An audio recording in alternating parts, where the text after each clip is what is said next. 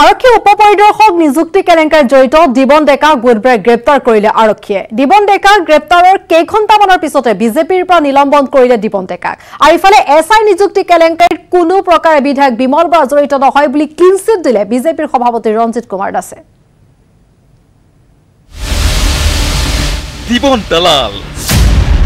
দালাল। সদায় প্ৰভাৱশালী।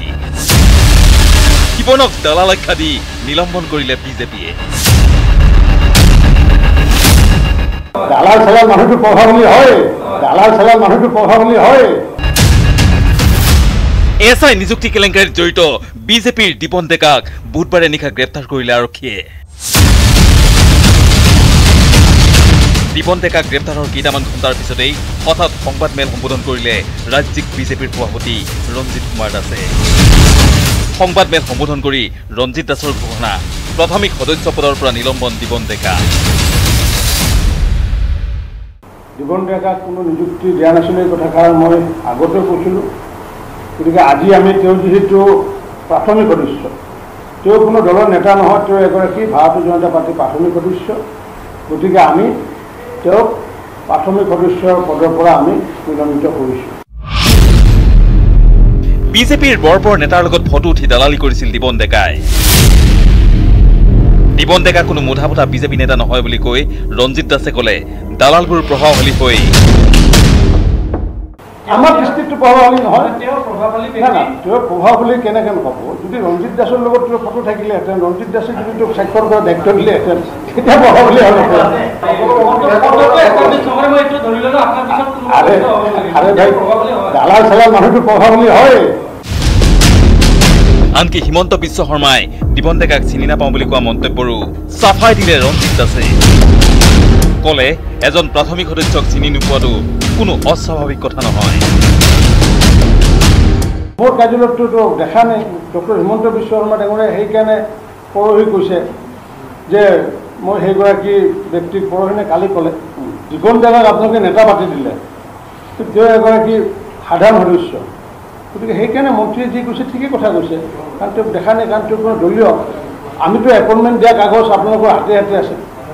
যোৱাবাৰৰ যিখন কাৰ্যনিৰ্বাহক হেৰিয়া আছিলে বা বিভিন্ন পদবীত দিয়া আছিলে তাততো আমাৰ স্বাক্ষৰিততো একো নাই মোৰ স্বাক্ষৰটো একো নাই।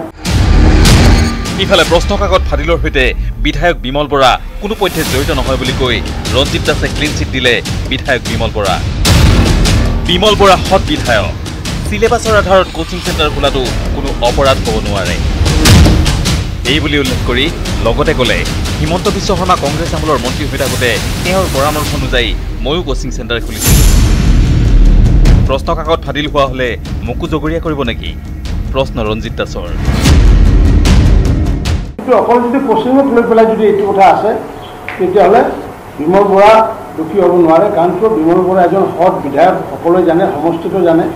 আমিও জানো মই নিজে কোচিং চেণ্টাৰ খুলিছিলোঁ। তিনিটা কোচিং চেণ্টাৰ এটা বৰপেটাৰ গণেশলাল চৌধুৰী কলেজ এটা গোবৰ্ধনা জিকিবে কলেজ আৰু এটা সৰভগত খুলিছিলোঁ। মই নিজৰ দৰমহা টকাৰ পৰা মই প্ৰায় দুই লাখ ত্ৰিছ হাজাৰ টকা খৰচ কৰি অধ্যাপকসকলক শিক্ষকসকলক মাননি দি পেলাই প্ৰায় চাৰে চাৰিশ ল'ৰা ছোৱালীক মই কোচিং কৰাইছোঁ। এতিয়া যদি সেই সময়ত যদি সেই কুইশ্যন পেপাৰ যদি বাতিল হ'লহেঁতেন তেতিয়া আপোনালোকে মোকো ক'লেহেঁতেন নেকি? ৰঞ্জিত দাসৰ দাবী মুখ্যমন্ত্ৰী সৰ্বানন্দ সোণোৱালৰ দিনত দুৰ্নীতি কৰি কোনো হাৰি যাব নোৱাৰিব। কেমেৰা পাৰ্চন সঞ্জয় বৰাৰ সহযোগত Raju Barua news eighteen Assam north east. লখিমপুৰৰ সংখ্যালঘু ছাত্ৰবৃত্তিৰ নামত বিয়াগুম কেলেংকাৰী। সংখ্যালঘু ছাত্ৰবৃত্তিৰ নামত দুই কোটি সাতচল্লিছ হাজাৰ টকাৰ কেলেংকাৰী অভিযোগ। ছাত্ৰবৃত্তিৰ তালিকাত অন্তৰ্ভুক্ত হৈছে পঞ্চাছ ঊৰ্ধৰ ব্যক্তিৰ নাম।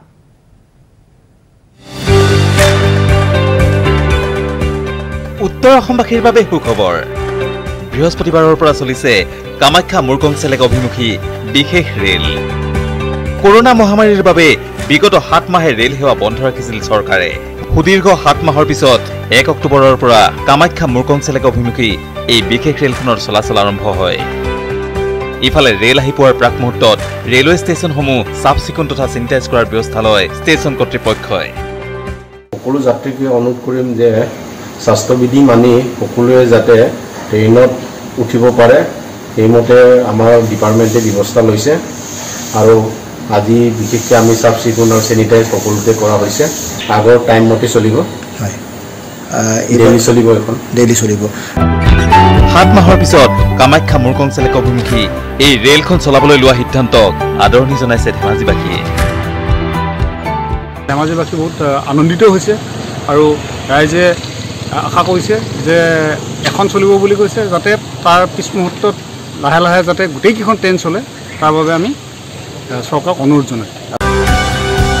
ধেমাজিৰ পৰা Mon Bikash Borgohain news eighteen Assam north east. ৰাজ্যত পুনৰ আন এক আঞ্চলিক ৰাজনৈতিক দলৰ উকমুকনি এইবাৰ জনজাতি উমৈহতীয়া আঞ্চলিক দল খোলাৰ চিন্তা। পিছে কাৰ পৃষ্ঠপোষকতাত আহি আছে এই নতুন দল? লখিমপুৰতো সংখ্যালঘু ছাত্ৰবৃত্তিৰ নামত বৃহৎ কেলেংকাৰী। জিলাখনৰ সংখ্যালঘু ছাত্ৰ ছাত্ৰীসকলক বৃত্তি দিয়াৰ নামত সংঘটিত হ'ল প্ৰায় আঢ়ৈ কোটি টকাৰ বৃহৎ কেলেংকাৰী।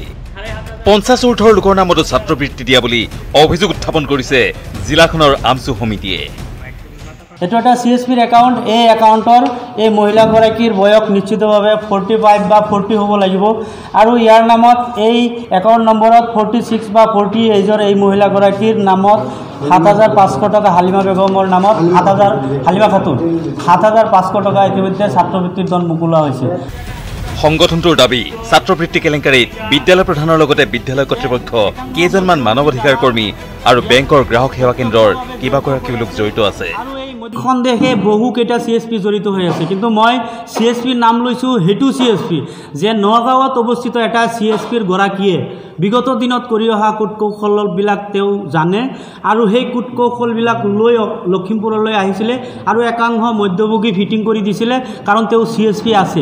গতিকে ইয়াৰ পৰা ইয়াৰ ছাত্ৰ ছাত্ৰীসকলৰ ছাত্ৰবৃত্তিৰ একাউণ্ট নগাঁও চি এছ পিত কৰা হৈছে এইটো সত্য।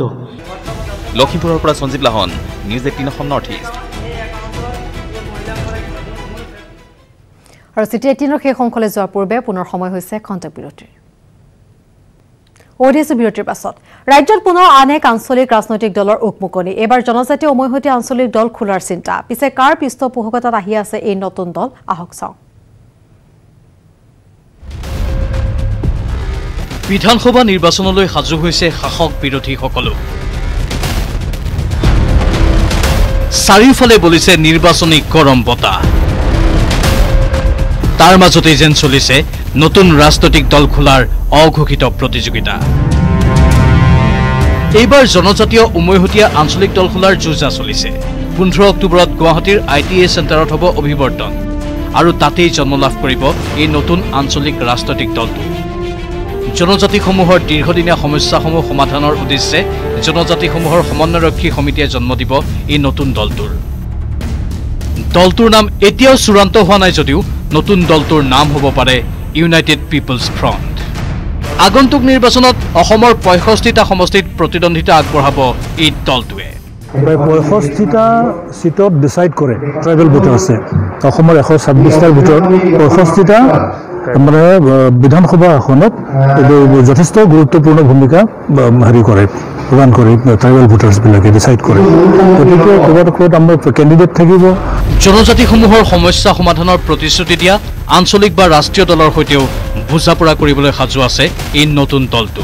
আৰু জনজাতিসকলৰ যিবিলাক দীৰ্ঘদিনীয়া সমস্যা এই সমস্যা সমাধানৰ কাৰণে প্ৰতিশ্ৰুতি যদি কোনোবা দলে দিয়ে ৰাষ্ট্ৰীয় দলেই হওক বা আঞ্চলিক দলেই হওক তেতিয়াহ'লে তেওঁলোকৰ লগত এটা বুজাপৰাও হৈ যাব পাৰে। এতিয়া লক্ষণীয় হ'ব এই নতুন আঞ্চলিক ৰাজনৈতিক দলটোৱে অসমৰ ৰাজনীতিত আগন্তুক দিনসমূহত কি প্ৰভাৱ পেলায়। জাগিৰোডৰ পৰা Ajay Pal news eighteen Assam north east. Goalpara চোৰাংকাত ব্যৱসায় বিৰুদ্ধে এইবাৰ মাৰ বান্ধি থিয় দিছে দুই মহিলা বন বিষয়া। বন ধ্বংসৰ বিৰুদ্ধে চলা অভিযানত সন্মুখৰ পৰা নেতৃত্ব দিছে দুগৰাকী সাহসী মহিলা বিষয়াই। অবৈধ বন ধ্বংসৰ বিৰুদ্ধে দুই মহিলা বন বিষয়া। বন ধ্বংসৰ খবৰ পালেই চলাই অভিযান। বন্ধ কৰে অবৈধ কাঠফলা মিল। বনাঞ্চলিক বিষয়া শিৱানী দলে আৰু শান্তনা মেধি। কৃষ্ণাই বনাঞ্চলিক কাৰ্যালয়ৰ অন্তৰ্গত লেলা সগুনবাহী গাঁৱত অভিযান চলাই দুই বনাঞ্চলিক বিষয়াই জব্দ কৰিলে বৃহৎ পৰিমাণৰ অবৈধ কাঠ। জব্দ প্ৰায় ডেৰ লক্ষাধিক মূল্যৰ চেগুন গছৰ কুণ্ডা অৱশ্যে বন বিভাগৰ অভিযানৰ খবৰ পাই পলাই সাৰিল অবৈধ কাঠ ব্যৱসায়ী। জব্দ কৰিলে। কাঠফলা মিলটোও। একেদিনাই নিশা বলবলাৰ নিকটৱৰ্তী এখন গাঁৱৰ পৰা অবৈধ চেগুন গছৰ কাঠ ভৰ্তি এখন বাহনো জব্দ কৰে বনাঞ্চলিক বিষয়া শিৱানী দলে। বাহনখনৰ পৰা প্ৰায় ত্ৰিছ হাজাৰ টকা মূল্যৰ কাঠ জব্দ কৰে। সময়ে সময়ে আৰক্ষী আৰু বন বিভাগে গোৱালপাৰাৰ একাংশ অসাধু ব্যৱসায়ীৰ বিৰুদ্ধে অভিযান চলাই আহিছে যদিও বন বিভাগ আৰু প্ৰশাসনৰ চকুত তুলি দি মূল্যৱান গছ কাটি ধ্বংস কৰি আহিছে বনাঞ্চল। চলাই আহিছে অবৈধ চোৰাং কাঠৰ ব্যৱসায়। আৰু এনে চোৰাং কাঠ ব্যৱসায়ীৰ বিৰুদ্ধে এক প্ৰকাৰৰ জেহাদ ঘোষণা কৰিছে দুই মহিলা বন বিষয়াই। দুই বন বিষয়াৰ হুংকাৰ। কোনো কাৰণতে বন ধ্বংস আৰু চোৰাং কাঠৰ ব্যৱসায় চলিবলৈ নিদিয়ে তেওঁলোকে। চালপাৰাবিধ তাতে আমি এটা বেঞ্চ মিল কমপ্লিট ছেটটো পালোঁ আৰু কাঠ বহু মূল্যৱান কাঠ পাইছোঁ। আগত মিল চলিছিল আমি বহুতখিনি মিল উচ্ছেদ কৰিছোঁ বৰ্তমান নাই। আমি যদি হয় মানুহে খবৰ দিলে আমি লগে লগে উচ্ছেদ অভিযানলৈ যাম। দুধনৈৰ পৰা Arup Nath news eighteen Assam north east যোৰহাটৰ এটা ভৱনে জলাকলা খুৱাইছে কেইবাটাও চৰকাৰী বিভাগক। এই ভৱনটোৰ বাবে শেহতীয়াকৈ আদালত অৱমাননা গোচৰ ৰুজু হৈছে যোৰহাটৰ উপায়ুক্ত অতিৰিক্ত উপায়ুক্তকে ধৰি কেইবাগৰাকীও শীৰ্ষ চৰকাৰী বিষয়াৰ বিৰুদ্ধে। কিন্তু কি আছে এই ভৱনটোত?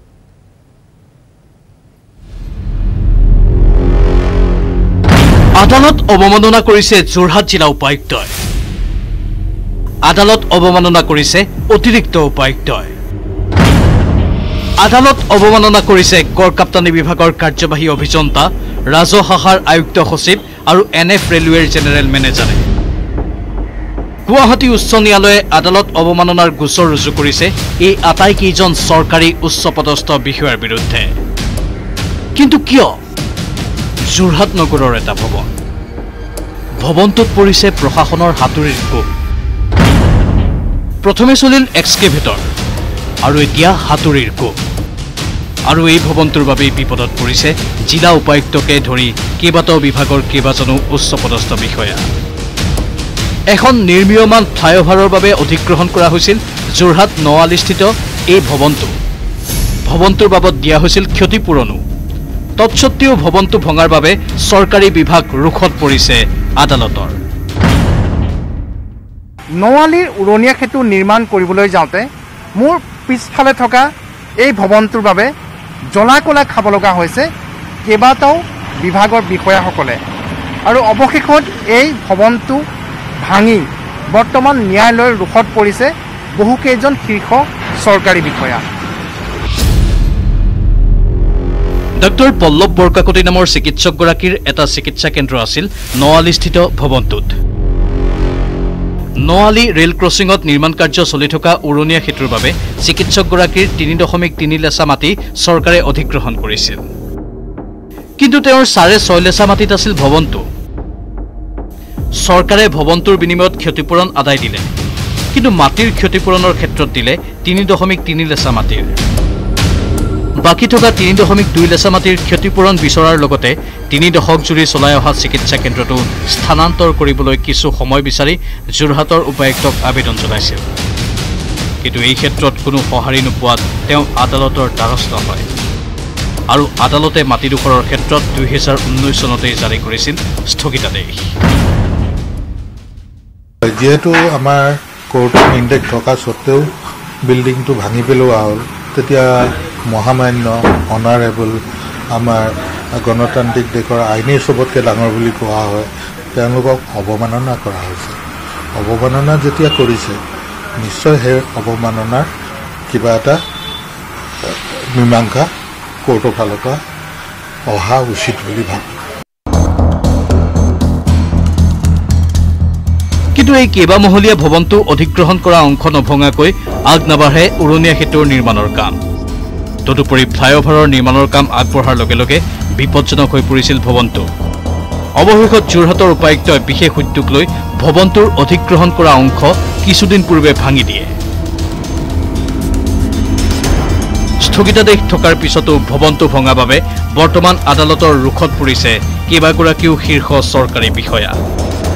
গুৱাহাটী উচ্চ ন্যায়ালয়ে আদালত অৱমাননাৰ গোচৰ ৰুজু কৰি যোৰহাটৰ উপায়ুক্ত অতিৰিক্ত উপায়ুক্ত তপন গোহাঁই গড়কাপ্তানি বিভাগৰ কাৰ্যবাহী অভিযন্তা বিপুল দত্ত ৰাজহ শাখাৰ আয়ুক্ত সচিব আৰু এন এফ ৰেলৱেৰ জেনেৰেল মেনেজাৰলৈ আঠ সপ্তাহৰ ভিতৰত আদালতত নিজৰ স্থিতি অৱগত কৰিবলৈ নিৰ্দেশ জাৰি কৰিছে।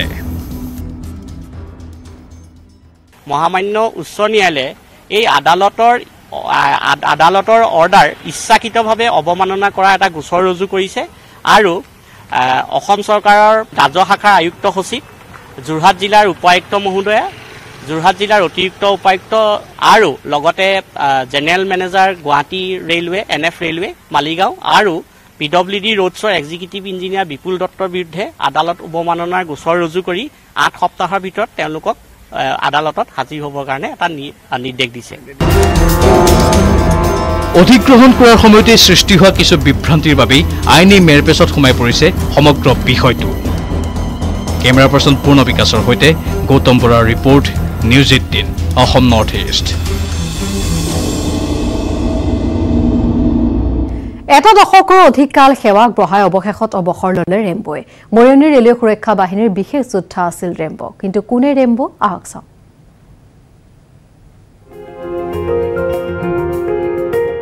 অৱসৰ ললে ৰেম্বুৱে ফুলৰ মালা ফুলম গামোচাৰে বিদায় জনোৱা হ'ল ৰেম্বক। ৰেম্ব ৰেল সুৰক্ষা বাহিনীত এটা দশকৰো অধিক কাল সেৱা আগবঢ়ালে ৰেম্বৱে। এঘাৰ বছৰ পূৰ্বে দিল্লীত উচ্চ প্ৰশিক্ষণ গ্ৰহণ কৰাৰ পিছৰে পৰা মৰিয়নীৰ ৰেল সুৰক্ষা বাহিনীত কৰ্মৰত হৈ আছিল ৰেম্ব। ৰেল সুৰক্ষা বাহিনীৰ বহু সফল অভিযানৰ অংশ আছিল ৰেম্ব। স্বাধীনতা দিৱস গণতন্ত্ৰ দিৱসৰ প্ৰাক মুহূৰ্তত মৰিয়নী ৰেল ষ্টেচনত কুটাঘাট ৰোধত ৰেল আৰক্ষীৰ বাবে মূল ভৰসা আছিল ৰেম্ব। স্মাৰ্ট ৰেম্বৰ সৈতে ৰেল সুৰক্ষা বাহিনীৰ প্ৰতিজন বিষয়া জোৱানৰ গঢ় লৈ উঠিছিল একাত্মতা। ৰেল সুৰক্ষা বাহিনীৰ ডগ স্কোৱাডৰ অন্যতম সদস্য আছিল ৰেম্ব। বুধবাৰে ৰেম্বক কৰ্মজীৱনৰ পৰা আনুষ্ঠানিকভাৱে বিদায় জনাই মৰিয়নীস্থিত ৰেল সুৰক্ষা বিভাগৰ বিষয়া জোৱানসকলে। ৰেম্বয়েও চেলুট মাৰি প্ৰদৰ্শন কৰে সন্মান। ৰেম্বৰ দুমাহ বয়সৰে পৰা এঘাৰ বছৰে লালন পালন কৰা ৰেল সুৰক্ষা বাহিনীৰ জোৱানসকলে বিদায়খনত ৰেম্বৰ কথা কৈ উচুপি উঠে। আৱেগ বিহ্বল এটি মন লৈ ৰেম্বয়েও বিদায় ল'লে। সুদীৰ্ঘদিন সেৱা আগবঢ়োৱা মৰিয়নীৰ ৰেল সুৰক্ষা বাহিনীৰ কৰ্মস্থলীৰ পৰা। দুমাহৰ লগৰ ৰাখি নিজৰ বাচ্ছাৰ দৰে কৰিছোঁ। এটা ৰেলৱে সম্পত্তি বুলি নহয় নিজৰ বাচ্ছাৰ নিচিনাতে মৰম চেনেহ কৰিছিলোঁ।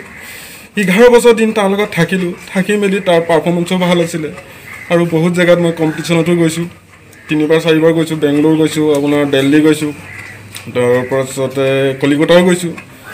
অল ইণ্ডিয়া ডগ কম্পিটিশ্যনতো গৈছোঁ তাৰ পাৰফৰ্মেঞ্চ বহুত ভাল আছিলে। কৰ্মজীৱনৰ মাজতে সৰ্বভাৰতীয় পৰ্যায়ত বিভিন্ন প্ৰতিযোগিতাত অংশগ্ৰহণ কৰি সুনাম অৰ্জা ৰেম্বোৰ। কৰ্মজীৱনৰ অৱসৰৰ পিছত নতুন ঠিকনা যোৰহাটৰ পোহৰ নামৰ বেচৰকাৰী সংস্থাটো। মৰিয়নীৰ পৰা Jyotiprasad Gogoi news eighteen Assam north east.